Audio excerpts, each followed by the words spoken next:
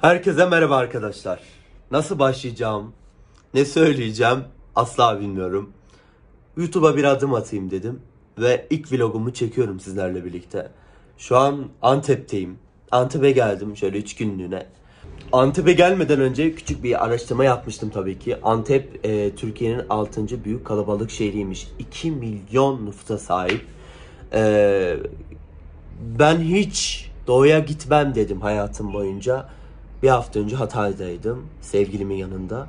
Şimdi Gaziantep'e geldim gezmeye tozmaya.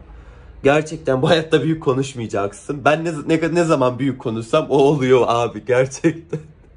Ben adam olmayacağım derdim. Ben de adam oldum yani. Ee, öyle. Bu üç gün süre boyunca e, tattığım lezzetlerin, yediğim yemeklerin, e, gezdiğim yerlerin, tarihi yerlerin yani kısa kısa vlog halinde bu videoda sizlere aktarmayı düşünüyorum.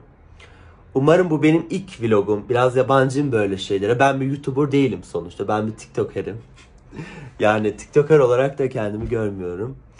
Ee, umarım beğenirsiniz. Vlogu kısa tutacağım. Mutlaka sonuna kadar izlemeyi tavsiye ederim. Ee, bakalım neler bekliyor bizi bu vlogta. Ee, şu an Antep'in merkezinde bulunan Hilton Kaleli Otel'deyim. Gerçekten otel çok güzel. Ee, beğendim 4 yıldızlı bir otel. Eğer Antep'e gelmek istiyorsanız veya tatil yapmayı düşünüyorsanız bu oteli tercih edebilirsiniz. Ben beğendim şahsen. Ee, tabii bunun 3 gün sonunda da bir değerlendirmek gerek.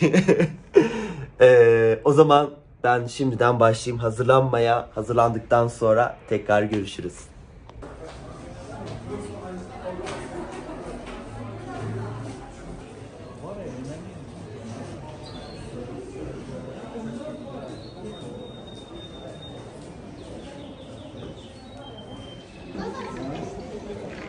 Arkadaşlar eee, şu anda Gaziantep'te Zincirli Bedesten'deyiz ve gerçekten çok güzel. İçerisinde ayakkabı, baharatın tüm çeşidi, onun haricinde eee, hediyelik eşyalar falan her şey bulunuyor.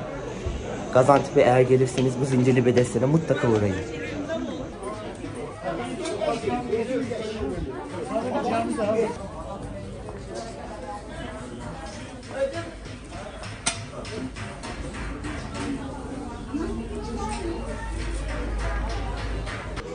Bedesten hemen yanında bulunan eee, Bakırcılar Çarşısı'na indim arkadaşlar. Burası da gerçekten aradığınız her türlü mutfak eşyalarını mı diyeyim, eee bakırları diyeyim bulabilirsiniz. Kazandı, tabaktı, çanaktı var.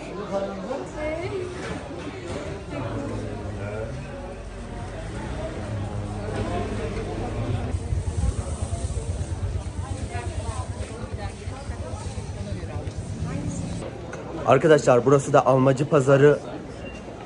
Gene her tarafta pazar var, kapalı çarşılar var, bedestenler var. Gene buralarda her türlü baharatı, acıyı, tatlıyı bulabileceğiniz bir çarşı.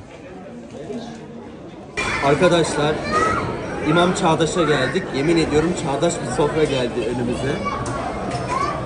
Küşleme, karışık ızgara, karışık ızgaranın içinde patlıcan kebabı, et şişli, tavuk şişli, lahmacun da geliyor şimdi lahmacuna söyledik. Güzel bir yayık ayran, açık ayran. Çok lezzeti yerinde, çok lezzetli. Ben daha önce böyle bir ayran içmemiştim. yani salatası bile inanılmaz. Şişiğimiz geldi, şişik. Şişiriyor. Yedikçe şişiyoruz.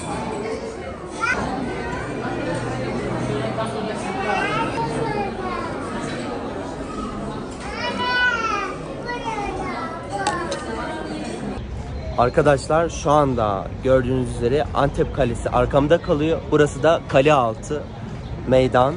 Ee, arkada ciğerci Mustafa var. Buranın en ünlü yeri zaten bu meydanın. Ee, gerçekten kale kapalıydı. Çıkamadık. Belki yarın tekrar şansımızı deneyeceğiz.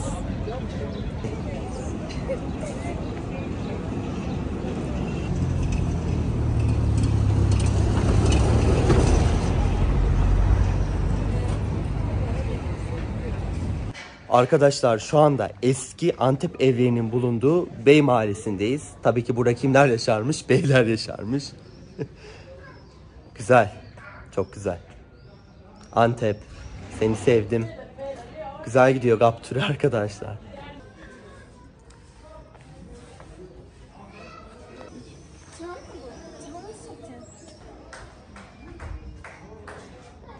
Şu daracık sokaklardan geçerken tabii ki bir e, o tarihin kokusunu yani taşları bile almamışlar buradan. O eski tarih bir taşlar hala yerlerde.